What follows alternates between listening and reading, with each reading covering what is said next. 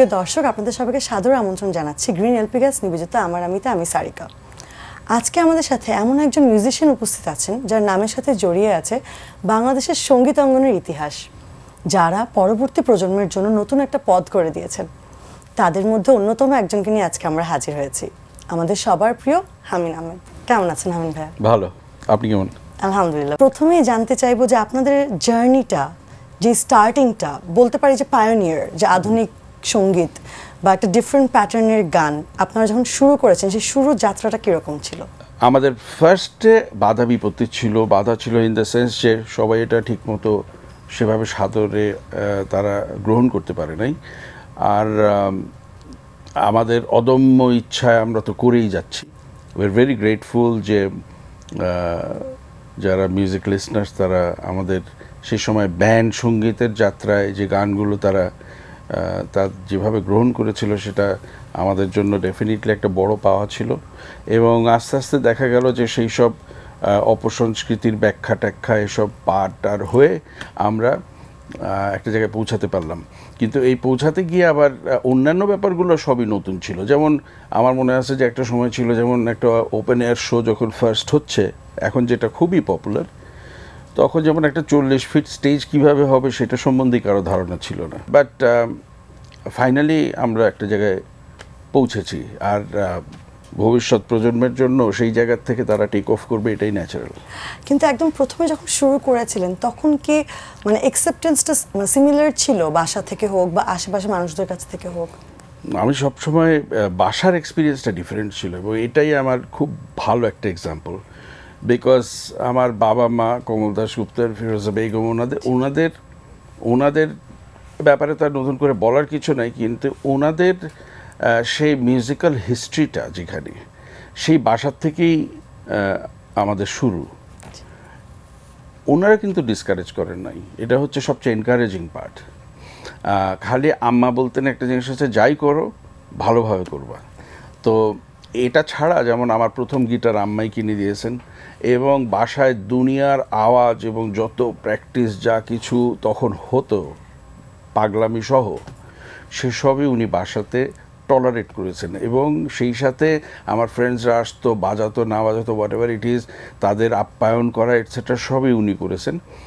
তো এটা আমি বলছি এই কারণে যে actually I think the true artist great musical যাদের ক্যারিয়ার আছে আমার মনে হয় they are all open minded উনি কখনোই বলেন নাই না এসব কি হচ্ছে বন্ধ করো তোমার এটা করতে হবে। এরকম করেন নাই এরকম করেনই নাই। সুতরাং ওই একটা কথাই বলছিলেন যে যাই করো ভালোভাবে করো। বাদ বাকিটা সাপোর্ট ছিল। কিন্তু এই ক্লাসিক্যাল ব্যাকগ্রাউন্ড থেকে এই যে ওয়েস্টার্ন কালচার বা ওয়েস্টার্ন মিউজিকের প্রতি এই- ইচ্ছাটা থেকে আসলো? মানে ইন্সপায়ারটা কে করেছিল? মানে ওয়েস্টার্ন গান শুনতেন? আমি বলতে গেলে বলব যে একটা খুব কমন কথা শোনা যায় যে রক্তে মিউজিক আছে, এরকম একটা ব্যাপার শোনা যায় যে, তো ছোটবেলা থেকে আমাদেরকে যেমন স্কুলে কোনো অ্যানুয়াল প্রোগ্রাম হলে হামেন শাফিন, তোমরা কিন্তু গান গাইবে, এরকম একটা ব্যাপার ছিল। তো সবাই ধরেই নিত যে গান আমাদের মধ্যে আছেই হবে। এখন বাসায় আমরা জন্মানোর পর থেকে যে পরিবেশ এবং যে গান শুনে আসছি এবং যার চর্চা দেখে এসছি, সেটা তো ছিল ওয়ান অফ দ্য হাইয়েস্ট ক্যালিবারের তো এটা না আমাদের ভিতরে চলেই আসছিল। নিজেদের যখন আমরা বড় হতে থাকলাম, তখন টিপিক্যাল টিনেজ ইয়ার্স এটসেট্রাতে যে অ্যাডভেঞ্চারাস যে ব্যাপারটা, সে সময় Beatles Rolling Stones Deep Purple etcetera এই সমস্ত ব্যান্ডগুলো তখন ন্যাচারালি একটা বলতে পারেন সময়ের ব্যাপার বা কোনো একটা বিষয়ের জন্য আমরা ওই সাউন্ডটাতে খুব আগ্রহী ছিলাম। গিটার মানে একটা হিউজ ইনস্ট্রুমেন্ট মানে kiss it looked very in আর কি মানে এটা আমার এটা তো ফ্যাবুলাস একটা জিনিস মানে এরকম। তো সেই জায়গার থেকে ইন্টারেস্টটা হলো। ইন্টারেস্ট হয়ে শুনলাম। শোনার পরে যেটা ভালো যেটা যে জিনিসটা আমার মনে হয় হেল্প করছে সেটা হচ্ছে যখন আমরা নিজেরা গান করি পরবর্তীতে তখন এইটার সংমিশ্রণটা আমাদের ক্ষেত্রে খুব ন্যাচারালি ব্লেন্ড করে গেছে। বিকজ ওয়েস্টার্ন মিউজিকের মানে একেবারে সম্পূর্ণ আগ্রহ নিয়ে শোনা তখন তো এসব ভিডিও টিডিও ছিল না। খালি ইউটিউব ছিল না। হ্যাঁ, আমি আমি একটা উদাহরণ দিই।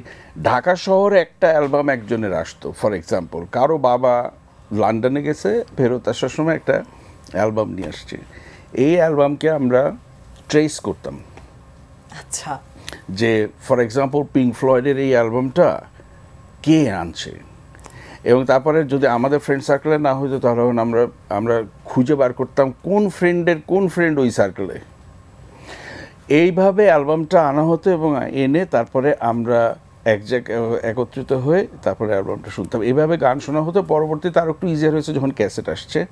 তখন ক্যাসেট ট্যাসেট আমরা কপি টপি করে এনে শুনতাম, কিন্তু কোনো ভিডিও তো এরকম ছিল না। কিন্তু ওই শোনার থেকে শুনে শুনে শুনে শুনে যেটা রপ্ত করছিলাম, সেটার সাথে আমাদের যে ঐতিহ্য বা আমাদের যে টিপিক্যাল বাংলা গানের সুরের চলন বা যেটাই বলেন, সেটাকে মিক্স করতে সুবিধা হয়েছে। যার জন্য যখন চারতারা সূর্য, নও, তুমি, তারপরে প্রথম প্রেমের মতো বা আশা, নিরাশা যখন করি, তখন এইগুলো আমরা খুব সহজেই মানে পিকচারটা দেখতে পাইছি যে এটা এইভাবেই হবে। এই যে একটু আগে যে বলছিলেন যে তখন ইউটিউব ছিল না এত সহজ ছিল না কোনো কিছু। তো এই সিচুয়েশনের ভিতর গিটার শেখার আগ্রহটা কোত্থেকে আসলো এবং কীভাবে এটা একটা অদ্ভুত ব্যাপার। আমরা আম্মা আমরা হ্যাঁ, উত্তরটা নিব ছোট্ট একটা বিরতির পর। দর্শক ফিরছি বিরতির পর। হারানো স্মৃতি পুরনো মোমবাতি শুধু এক দীর্ঘ শ্বাস ঝড় হয়ে করে মাতামাতি। দর্শক ফিরে এলাম বিরতির পর। আমাদের সাথে আছেন আমাদের সবার প্রিয় হামিন আহমেদ। হ্যাঁ ব্রেকে যাওয়ার আগে প্রশ্ন করেছিলাম যে গিটারের প্রতি আগ্রহ থেকে আসলো কীভাবে শিখলেন? প্রথমে গিটারের শেপটা guitar everything about guitar attracted ছবি দেখে অ্যাট্রাক্টেড বাট এটা পরবর্তীতে যেটা হয়েছে কি আমরা কালচারাল একাডেমি বলে একটা একটা মিউজিক একাডেমি ছিল যেখানে আম্মা ছিলেন ভাইস প্রিন্সিপাল আচ্ছা। তো ওখানে গান শিখতাম। বোধহয় ওটা তিয়াত্তর সাল হইতে পারে। মানে তখন পিচ্ছি আর মানে উই ভেরি ইয়াং এনিওয়ে গান আমার মনে আছে একটা ক্লাস শেষ করে বার হচ্ছে। এই সময় ওই ইনস্টিটিউটেরই আর একটা রুমে একটা পিকিউলিয়ার আওয়াজ হয়েছে মানে এই পিকিউলিয়ার মানে আমি তখন তো জানি না যে গিটারের আওয়াজ এরকম। তো ওইটা তখন ক্লাস ব্রেকে তখন গিয়ে ওই ঘরে ঢুকলাম। ঘরে তখন আমি কাকে দেখলাম জানেন? ঘরে তখন লাকি ভাই লাকি আখান আর হ্যাপি আখান। লাকি ভাই একটা অ্যাম্প আন আন ওই ওখানে আনছিলেন এবং উনি ওনার একটা লাল গিটার ছিল ওইটা। লাল গিটারটা নিয়ে উনি ওনার গানগুলো মনে হয় প্র্যাকটিস করছিলেন আর সামথিং এই যে আওয়াজটা গেল একদম মার্ডার ওইখান থেকে বার হওয়ার পরে শুধু ওই আওয়াজ এখানে বাজতেছে। তারপর ওয়েস্টার্ন মিউজিকে যখন প্রথম একটু ওয়েস্টার্ন আর্টিস্টদের গান শোনা শুরু তখন ওই আওয়াজটা আবার ব্যাক করল ওইটা তো ওই রকম দেন তখন ডিটারমেন্ট ছিলাম আমার একটা গিটার লাগবে। আচ্ছা। তো প্রথম গিটারটা কলকাতার থেকে আসলো তারপরে পরেরটা ক্যানাডার থেকে মা দুবারই মা এনে দিয়েছিলেন। কিন্তু ওই হাতে গিটার পড়ার পর থেকে বাজাতে পারতাম না বাট ভাবভঙ্গি ছিল অনেক। হ্যাঁ রক স্টার তো প্রথম হাতে খড়ি কীভাবে ফার্স্ট কর্ড শিখা বা সব সেলফ টট. বই গান শোনা আর চেষ্টা আর কি। আর সবাই মিলে যে ব্যান্ড গঠন করার বিষয়টা এই আইডিয়াটা কার ছিল এবং কীভাবে আসলো? যখন গিটার বাজানো শুরু করলাম তখন এক তার থেকে দুই তিন বছরের মধ্যে দুই তিন বছরের মধ্যেই মোটামুটি ওই খুঁজে বার করা ব্যান্ড এবং গিটার বাজায় কারা কারা band Wendy side of care lightning এইসব যেসব ব্যান্ডগুলো ছিল এগুলো ব্যাপারে জানতে বেশি সময় লাগে নাই। পরে যখন স্বাধীনতার পরপরই মানে তিয়াত্তরে অ্যাকচুয়ালি আমি আমার ফার্স্ট কনসার্ট দেখছি। আচ্ছা। তখন ওটাকে বলা হতো পপ শো তো পপ কাদের কনসার্ট ছিল? আমি বলছি এটা পপ শোতে যখন গেলাম ইঞ্জিনিয়ার্স ইনস্টিটিউট ছিল এই পপ শো এর সেন্টার পয়েন্ট ছিল ইঞ্জিনিয়ার্স ইনস্টিটিউট অডিটোরিয়াম। তো এখানে তখন কে বাজাবে কে বাজাবে তখন মানে আমাদের ফ্রেন্ডসদের মধ্যে উত্তেজনার তো শেষ নাই। মানে একটা ভীষণ মানে বিগ ট্রেন্ড যে পপ শোতে যাব আর কি। তো ওটাতে ছিল অ্যাবনর্মাল থ্রি বলে একটা ব্যান্ড তারপর আগলি ফেসেস বলে একটা ব্যান্ড তারপরে ছিল উচ্চারণ নামে একটা ব্যান্ড আচ্ছা। উচ্চারণ নামটা তখন পোস্টার লেখা হইতো হাতে। তখন উচ্চারণ ব্যান্ডটা কী হবে? মানে এটা উচ্চারণ মানে তখন হইতেছে সব ব্যান্ডের নাম ইংরেজিতে। ওটা ছিল ফার্স্ট শো ওই শোতে ফার্স্ট আজম ভাইকে দেখি। এবং আমি সবসময় এখনও বলি মানে ওই এক্সপিরিয়েন্সটা ওই যে ব্যান্ড দেখলাম, সব একসাথে হয়ে বাজাচ্ছে, এটা ইলেকট্রিফাইং আমি এটা বুঝাইতে পারব না। মানে এটা মানে একদম, এটা যে করব, তখন আমার কোনো সেকেন্ড কোনো হেজিটেশন ছিল না। এবং আজম ভাইয়ের স্বাধীনতা উত্তর ওই সময়টা তো বাংলাদেশের জন্য ডিফারেন্ট ছিল। স্পিরিটটা ডিফারেন্ট ছিল। পরিবেশ সব কিছু ডিফারেন্ট ছিল। ওই সময় ওনার সালেকা মালেকা বাংলাদেশ গানটা যে মেয়ে চোখে দেখে না আশি আশি বলে এগুলো হিউজ ইম্প্যাক্ট ছিল। আমি মানে as a as a student হিসাবে তখন ইট ওয়াজ ইনক্রেডিবল এবং আমি জানতাম যে এটা অ্যাকচুয়ালি এটাই আমি করতে চাই। মাইলস সম্পর্কে জানতে চাইব যে যখন ফাইনালি এই ড্রিমটা ফুলফিল হলো। সবাই মিলে যখন নিজেরা যখন জ্যামিং করলেন কনসার্ট ফার্স্ট টাইম যখন পারফর্ম করলেন সেই এক্সপিরিয়েন্সটা কীরকম ছিল সেটা আমরা শুনব। কিন্তু তার আগে আমরা একটা বিরতি নিয়ে আবার ফেরত আসছি। দর্শক বিরতি থেকে ফিরে শুনব আমরা মাইলসের স্টোরি কোথাও যাবেন না।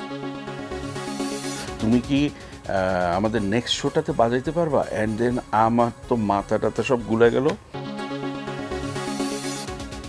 ফিরে এলাম বিরতির পর। কথা হচ্ছিল আমাদের সবার প্রিয় হামিন ভাইয়ের সাথে। ভাইয়া প্লিজ মাইলসের স্টোরিটা যদি আমাদেরকে একটু বলতেন। মাইলস স্টোরি মাইলসের আগে আমাদের শাফিনের অ্যাকচুয়ালি অন্য একটা ব্যান্ডে ছিলাম। টিপিক্যালি শুরুর সময় যেটা হয় ব্যারক নামে একটা ব্যান্ড ছিল তার আগে আমাদের ফ্রেন্ডসদের মধ্যে একটা ব্যান্ড ছিল। আচ্ছা। ব্যারক যখন একটা ব্যান্ড আমরা ফ্রেন্ডসরা মিলে করেছিলাম তখন ওইটার কিছুদিনের মধ্যে হঠাৎ করে অ্যাক্সিডেন্টালি আমাদের খুব আইকন মানে আইকনিক যারা তখন মিউজিশিয়ানস ছিল তাদের মধ্যে একজন হচ্ছে ফরিদ রশিদ। ফরিদ রশিদের সাথে অ্যাক্সিডেন্টালি দেখা হলো তিনি লন্ডনে থাকতো আসছিল বাংলাদেশে। তো he started the band Miles তো মাইলসে তখন যারা বাজাতো তারা হচ্ছে অ্যাকচুয়ালি তখন আমাদের জন্য ছিল আইকনিক।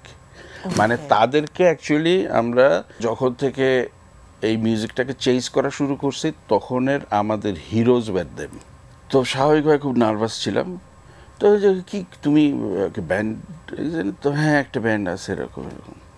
তো ঠিক আছে, উনি যখন, সে যখন বলছে যে আমি আসব দেখতে, তখন আমি ভাবছি এমনি বলছে। তো একদিন বাসায় প্র্যাকটিস করতেছিলাম, তখন দেখি সে হাজির মানে ফরিদ রশিদ। তো ফরিদ অবভিয়াসলি আমাদের আমাদের থেকে বড় ছিলেন, বয়সে বড় আমাদের বিগ ব্রাদার বলতে পারো হিরোজ বলতে ever he came and to see us তো তখন আমরা প্র্যাকটিস করছিলাম তো হি ওয়াজ ইমপ্রেসড তার এক সপ্তাহের মধ্যে I got a call Farid Rashid থেকে যে Hamin would you be interested to play in Miles তো এটা ছিল অ্যাট দ্যাট টাইম ছিল অলমোস্ট লাইক মানে if you think of the biggest stage to be on that was it the first time first time and I was thinking মানে আমার রাতের ঘুম হারাম সব কিছু তুমি কি আমাদের নেক্সট শোটাতে বাজাইতে পারবা? অ্যান্ড দেন আমার তো মাথা টাথা সব গুলে গেল। তারপর আমাকে দেওয়া হলো। এক্সপিরিয়েন্স এক্সপিরিয়েন্স তো আমি মানে আমি কীভাবে বলব আমি জানি না but I was given thirty songs to pick in about four days time আর আমি গিয়ে যখন দাঁড়ার মানে ওখানে যখন বাজানোর জন্য উঠলাম ফার্স্ট শো তখন চাম্বেলি বলে একটা সাপার ক্লাব ছিল। এটা হোটেল ইন্টারকনের একটা ফেমাস সাপার ক্লাব ছিল। এখানে অনেকে যেত ডিনার টিনার হইতো মিউজিক শুনতো লাইভ মিউজিকের একটা ব্যবস্থা ছিল। ওখানেই ছিল ফার্স্ট শোটা এবং আমাকে যখন উঠতে হলো তখন আমার আমার বাম দিকে হচ্ছে ফরিদ রশিদ, পিছনে যে ড্রামস বাজাইতো কামাল মহিউদ্দিন মানে কামাল ছিল আইকনিক একটা ড্রামার হ্যাপি কিজে বাজাচ্ছে Happy Akhand my god most talented natural talent I have ever seen আর যারা ছিলেন তারা সবাই সেই রকম মিউজিশিয়ান এবং সেই রকম রেপুটেড মিউজিশিয়ান এবং তাদের সাথে বাজানোও জীবনে ভাবি নাই। চলো বাজাই। That was uh, experience very nervous but পার করে ফেলছি। That was like a dream মনে হয়েছে মানে পরের দিন মনে হয়েছে এটা কি ঠিক ছিল? তারপরে তো শোজগুলো কন্টিনিউয়াস চলছিল so I I realise that I am in Miles now আমি জানি কিন্তু অনেকে এখানে জানে না যে আপনার মিউজিকের পাশাপাশি আরেকটা ক্যারিয়ার হতে হতে আপনি পরে ওখান থেকে শিফট করেছেন দ্যাট ইজ ক্রিকেট এবং আপনি জাতীয় দলের জন্যও খেলেছেন ক্রিকেটে সেই জার্নিটা নিয়ে যদি আমাদেরকে কিছু বলতেন। তখন আমি কিন্তু অলরেডি মাইলস করছি। আচ্ছা। মাইলস জাস্ট এন্টার্ড হ্যাঁ? Because I have entered Miles nineteen seventy nine আমার ক্রিকেটও এন্ট্রি হচ্ছে seventy nine okay sir simultaneously করছেন সাইমালটেনিয়াসলি তো আমার বড় ভাই ফার্স্ট ভিক্টোরিয়া ক্লাবে খেলতো ওর নাম তাহসিন। তো আম একটা লেজি সামার আফটারনুনে ও আমার দিকে তাকিয়ে বলে সারাদিন এইভাবে বসে থাকো ক্লাস করার পর থেকে কিচ্ছু করার নাই ক্রিকেট খেলো না কেন? এই কথাটা লেগেছিল তারপরে ভাবলাম ইন্টারেস্ট তখন যেটা হয় আর কি যেটাতে ইন্টারেস্ট হয়ে চলে যাবে। পরে আমি বললাম তুমি আমি খেলতে চাইলে কোথায় খেলব? তো সে তখন কয়েক দুই, তিন দিনের মধ্যে আমাকে ন্যাশনাল স্পোর্টিং ক্লাবে নিয়ে গেল। জামান ভাই খুব আমাদের রেসপেক্টেবল জামান ভাইয়ের সাথে পরিচয় থেকে আমার ক্রিকেটের যাত্রা শুরু ন্যাশনাল স্পোর্টিং ক্লাবে এবং কীভাবে, কি ভাগ্য ছিল জানি না, আমার মধ্যে কি দেখছেন? তা জামান ভাই বললেন যে, তুমি তো খুব স্ট্রেইট খেলো, খুব ভালো লাগ- লেগেছে আমার। তো তুমি কিন্তু নেক্সট ম্যাচে মানে ফার্স্ট ম্যাচেই ইন তো ফার্স্ট ম্যাচে ইন করল, তো নাইট ওয়াচম্যান মানে একজন আউট হয়ে গেছে তখন আমাকে পাঠিয়েছে। ওটাও সারপ্রাইজিং ছিল। তো আমি সুযোগটা কাজে লাগাতে পারছিলাম। প্রথম ম্যাচে আমি থার্টি এইট করছিলাম এটা দেখে উনি খুব ইমপ্রেসড হ্যাঁ তুমি? ফার্স্ট ম্যাচে হ্যাঁ ফিফটি তোমার হাফ সেঞ্চুরি করে পরের ম্যাচে আই স্কোর থার্টি সেভেন তারপরের ম্যাচে I score fifty two Dhaka স্টেডিয়ামে তো এটার পরে আর পিছনে তাকাতে হয়নি। তো উনি এনকারেজ করছেন। পরবর্তীতে আমি আমার ড্রিম টিম ছিল যেটা Azad boys sporting club Azad boys was the মানে the cricket club to play for. Okay তো ওখানে ছয় সাতজন ন্যাশনাল টিমের প্লেয়ার ছিল। আজাদ বয়েজে খেলি আবাহনীতে খেলছি মোহামেডানে খেলছি এবং এইটি সিক্সে আমি জাতীয় দলে সুযোগ পাই। আচ্ছা। এবং ওটা আইসিসি ট্রফি খেলার জন্য ইংল্যান্ডে যাই। ওখানেও আমি I was the most successful player কিন্তু যখন ফিরে আসি ওই ছিয়াশি সালে ছিল ওটা। সাতাশিতে আমাকে ওই হার্ড ডিসিশনটা নিতে হয় যে ক্রিকেট আর মাইলস নাকি ক্রিকেট ছাড়ো কাজ করো আর মাইলস তো ক্রিকেট খেলতে গেলে সারাদিন মাঠে থাকতে হতো আর তখন তো আর আমাদের এখনকার ক্রিকেট ছিল না। মানে সব কিছু নিজেদের প্যাডসটাও নিজেদের কিনতে হতো তো এই এই এখনকার সময় পেলে ক্রিকেটই রাখতাম নো ডাউট বাট না ওই ডিসিশনটা খুব হার্ড ডিসিশন ছিল। মানে আমার লাইফ থেকে ক্রিকেটটা আউট হয়ে গেল। কাজে নামলাম আর মাইলস করলাম আচ্ছা আমরা তো রানের কথা শুনলাম। ফার্স্ট রান রেট ছিল থার্টি এইট আচ্ছা তো ফার্স্ট রেমুনারেশন কত ছিল? ও মিউজিক করে। মিউজিকে আমাদের মাইলসের প্রথম শো প্রথম পাবলিক শোতে আমরা ছ হাজার টাকা পেয়েছিলাম। এবং এটা শিল্পকলা একাডেমিতে ছিল এবং why would so many people would come to see us for what এটা একটা big question nervous like hell আর মানুষ ওয়েন উই ওয়েন দেয়ার মনে আছে যখন গ্রিন রুমে ঢুকলাম, তখন খালি আওয়াজ হচ্ছিল এটা হু হু করে আওয়াজ হচ্ছিল। অ্যান্ড আমার মনে আছে যে লাস্ট গানটা ছিল হোটেল ক্যালিফোর্নিয়া ইগলসের তখন যখন ওই গানটা যখন লিডটা বাজানো শুরু করি, তখন প্রত্যেকটা অডিয়েন্সের থেকে ওই ওই ওই লিড গিটারটার ওই পিসটা পুরো মুখ দিয়ে গাইছে এটার সাথে। তো তখন তো আমাদের এত এরকম ধরনের ইকুইপমেন্ট ছিল না। এখন যত লাউড শোনা যায়, তখন কিন্তু এত ইকুইপমেন্ট ছিল না। So it was like nicely audible তো আমি বাজানো শুরু করলাম, যখন ধরলাম, কিছুক্ষণের মধ্যে মনে হলো আমার গিটারের আওয়াজ তো এরম না। তারপরে, কারণ কনসেন্ট্রেশন তো এখানে ছিল, তারপরে কিছুক্ষণ পরে বুঝতে পারছি যে অ্যাকচুয়ালি মানুষ গাচ্ছে এটার সাথে। I can only imagine the ambience. Like, wow, it must have তখন been মানে like, এটা ওই মোমেন্টগুলো ইজ অ্যাকচুয়ালি আনবিলিভেবল দ্যাট মানে we that makes the journey এত valuable and that's what made you people the legend. We just আমাদের একটা জিনিস ছিল কি যে আমরা মিউজিক করছি মিউজিককে লাভ করে নট যে আহ, কি হব নাম্বার ওয়ান না নাম্বার টু এসব ব্যাপারগুলো ছিল এবং এখনও অ্যাকচুয়ালি আমরা যে ভাবে ওয়ার্ক করি যেমন রিহার্সাল প্যাড আছে রিহার্সাল প্যাডে যাই এন এটসেট্রা ইটস নট যে শো আছে বলে ইটস জাস্ট লাইক মিউজিক ভালো লাগে বলে। এটা আসলে অনেক বড় একটা লেসন নতুন জেনারেশনদের জন্য। তারা যেন এই ঠিক এই প্র্যাকটিসটাই শিখে আপনাদের কাছ থেকে। আমরা আসলে প্রোগ্রামে লাস্টে চলে আসছি সো আমি দর্শকদের কাছে বিদায় নিয়ে আসি। দর্শক, সবাই ভালো থাকবেন, দেখা হবে আগামী পর্বে আবার নতুন কোনো তারকার সাথে।